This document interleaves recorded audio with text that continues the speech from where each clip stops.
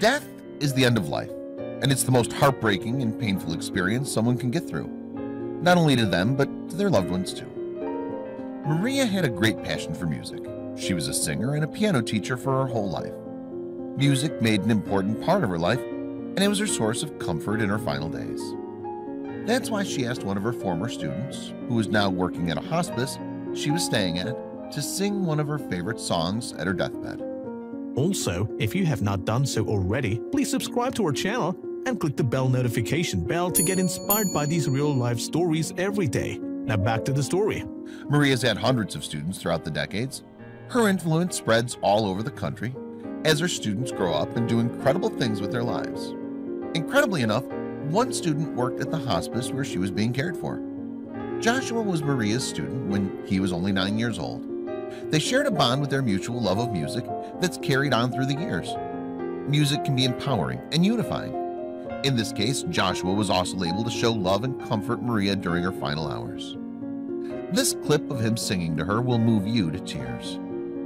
Maria's final wish was to hear the song How Great Thou Art, since it's been a source of comfort and strength for her throughout her life.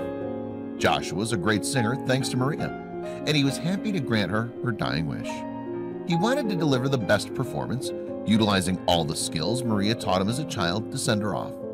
He knew this is what she deserved. Joshua stood right by Maria's side as he beautifully sang Maria's favorite song. You'll notice that Maria seemed to relax immediately after Joshua started.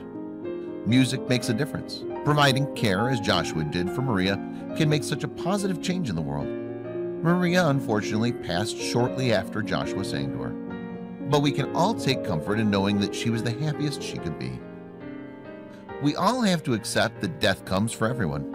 Instead of being afraid, we can try to live our lives as passionately as Maria and go out in a peaceful way. Although Maria's passed, the knowledge she's given to all of her students will continue to be celebrated and passed on for generations. What do you think about this video? Does it make you emotional? Let us know in the comments and be sure to pass this story along to your friends and family.